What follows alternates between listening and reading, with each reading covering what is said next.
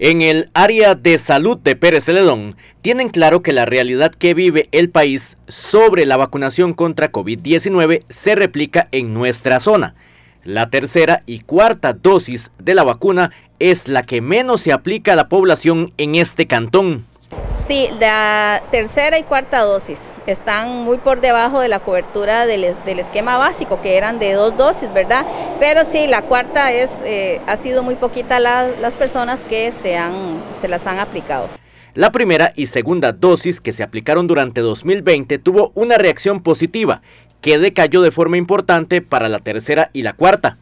Da la sensación exactamente de que eh, las dos primeras dosis era suficiente, pero, pero no, digamos, si era necesaria este, continuar reforzando más por la variación de las, de las cepas que se han dado, ¿verdad? Entonces la protección podría disminuir bastante y, y es necesario ese refuerzo. Las autoridades de salud realizan varias estrategias para llegar a la mayor cantidad de población posible. Ya no es tanta la población que asiste a vacunarse contra COVID, sino, por, sino eh, ¿verdad? Nos cuesta un poquito más. Igual utilizamos la estrategia de ir casa a casa, de ir a los centros educativos, de ir a empresas, se le está haciendo visita a las empresas porque el personal a veces no tiene la posibilidad de, ¿verdad? También de salir en su horario laboral y aplicarse.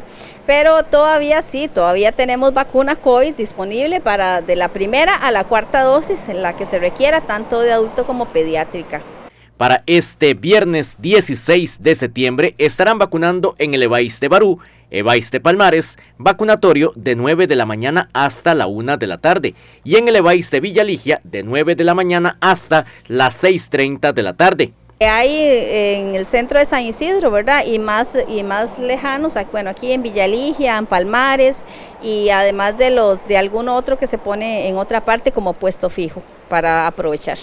La primera vacuna contra COVID-19 aquí en Pérez Celedón se aplicó en enero del año pasado.